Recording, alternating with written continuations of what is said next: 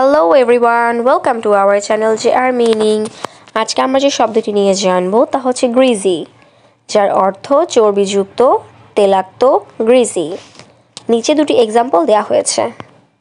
Example one the machinery parts become greasy after use the machinery parts became greasy after use অর্থ ব্যবহারের পরে মেশিনের অংশগুলি তৈলাক্ত হয়ে গেছিল।